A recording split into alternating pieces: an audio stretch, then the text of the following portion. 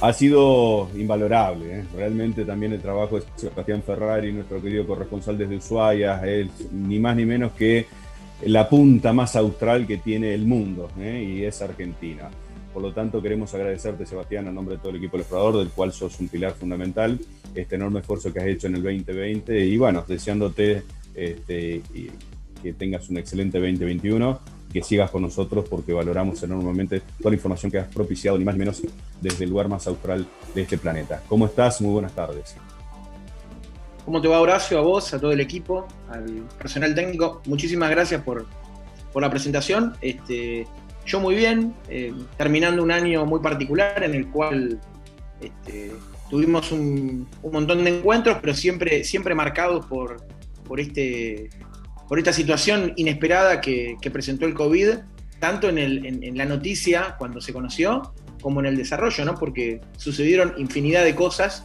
Me acuerdo lo del, lo del barco, lo del perco pesquero en Ushuaia, pero infinidad de cosas en los hospitales, en los gobiernos, las decisiones que tomaron las intendencias, las decisiones que tuvieron los gobiernos provinciales, el gobierno nacional, la oposición discutiendo. La verdad que es un año que se lo llevó el coronavirus, ¿no? Es un año que se lo llevó el coronavirus. Bueno, y en ese aspecto de que se lo lleva el coronavirus, contame, a ver, qué hechos rescatables podemos tener de este 2020 y qué hechos podemos decir andate una vez por toda 2020, teniendo en cuenta el lugar de donde sos este, oriundo, ¿no? Todo lo que ha acontecido en este año en, Ushuaia. Mira, este, vamos a, poner en situación primero cómo está hoy la provincia de Tierra del Fuego. Eh, al, día de, hacia al 28 de diciembre, que es el último parte oficial eh, brindado por el gobierno de la provincia. Eh, hubo 64 eh, nuevos casos, ¿sí? la situación se mantiene con 650 casos activos, en un total acumulado de casi 19.000 casos en la provincia de Tierra del Fuego. De esos 19.000 casos tenemos 17.870 y pico, 73, 75 recuperados. Y tenemos un saldo negativo realmente lamentable eh, de 277 fallecidos. De los 64 casos que te mencioné al 28 de diciembre, se ha equilibrado, porque acordate que nosotros arrancamos este, esta, historia del coronavirus en la provincia de Tierra del Fuego con un, porcentaje muy, muy alto en la ciudad de Ushuaia, que es receptora de turismo, ya sea por, vuelos este, de aerolíneas eh, o por la entrada por el puerto de Ushuaia. Después se estabilizó y hubo un brote muy muy fuerte en la ciudad de Río Grande. Hoy estamos estabilizados, tenemos 29 casos nuevos en la ciudad de Río Grande, 30 en la ciudad de Ushuaia, apenas 5 en, la ciudad de Tolwyn. Em, y bueno, son buenas noticias porque estamos hablando de, números este, muchísimo más este, leves de los que supimos este, compartir en los picos, ¿no, Horacio? En términos comerciales, con la nevada más importante que ha tenido en el último decenio Ushuaia, que se propició, pero con justamente en el medio de la pandemia la imposibilidad de explotarlo comercialmente. ¿Cómo están hoy eh, en esa posibilidad de ir asomando la nariz fuera del agua? ¿Pudieron sacar la nariz fuera del agua? Todavía no. Eh, ¿Qué balance hacemos también en ese marco de una temporada que no fue en, en Ushuaia? Sí, a ver, em, es, muy complejo el tema porque nadie cree completamente de los números oficiales que hay respecto a, lo económico.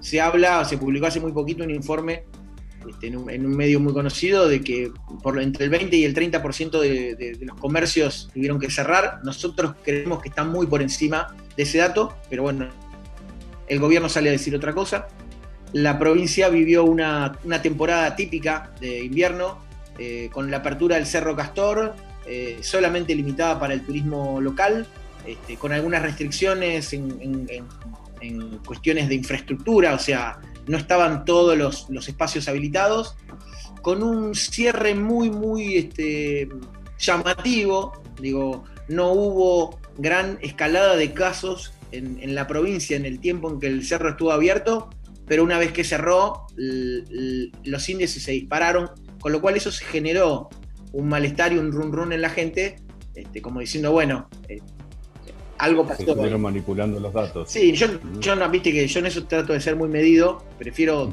dar la información que tengo y no, no, no objetivizar, Pero, pero sí, sí, sí, sí. Fue, realmente llamativo como una vez cerrada la temporada se disparó todo. Claro.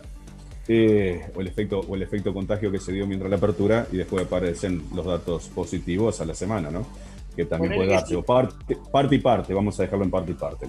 Eh, Sebastián, la otra consulta que te quiero hacer es, ¿qué temperatura tenemos actualmente a hoy, a hoy en Ushuaia? Cielo nublado, 10 grados en este momento. Está agradable, está muy lindo para salir a pasear, tranquilo y demás. Vienen, vienen siendo unos días este, realmente muy, muy placenteros para lo que estamos acostumbrados. Y aparte coincide esta, época del año, Horacio, vos sabés que en el verano, yo lo repito acá porque bueno, está bueno compartirlo, Tierra del Fuego... el. Claro, la, cantidad de horas de luz en el verano es mayor, o sea, amanece a las 4 de la mañana, con unos amaneceres impresionantes, y, anochece, es de noche recién 11 de la noche, con lo cual están tocando lindos días, la gente aprovecha para, para ir al campo, porque se habilitó a partir del 4 de diciembre, hasta el 4 de diciembre, este, no se podía ir al campo, o sea, había como una restricción. Entonces la gente está aprovechando mucho para ir al campo, para salir y bueno, y aprovechar estas temperaturas que están tocando, por suerte. Bien. ¿Vacunas? ¿Llegaron? Llegaron las vacunas a partir del día de hoy, hoy a las 9 de la mañana. Empezó la, vacunación en los hospitales públicos. Los primeros en recibir la, vacuna fueron el jefe de laboratorios del Hospital de Ushuaia, por un lado, y el jefe de enfermería de terapia intensiva del Hospital de Río Grande. Eh, la vacunación avanza normalmente. Hay 900 dosis de la vacuna Sputnik este, que se están administrando, bueno, como te dije, en los dos hospitales. Y bueno, vamos a, seguir de cerca el tema para ver cómo, cómo evoluciona. Te mando un, cariño enorme, gracias por todo eh, profesional que nos ha brindado, bueno, en cierta medida por, por este compañerismo que hemos generado. Y bueno, ojalá que dejemos atrás de esta pesadilla y empecemos un 2021 como corresponde. Pesadilla y todo, en el cual creo que la gran mayoría eh, ha tenido este contagio, pero ha predominado la voluntad de seguir informando por haber sido un bien esencial todos los medios de comunicación y en eso estamos como Gracias por el explorador Sebastián y hasta el año que viene. Gracias a ustedes, Horacio, saludo para vos, para todo el equipo que hacen posible que estemos conectados y nada, hasta el año que viene falta muy poco, así que ojalá que el año que viene sea mejor. A levantar las copas. Un abrazo. Sebastián Ferrari desde la ciudad más austral y remota Tierra. Continuamos con más en esta edición del Explorador.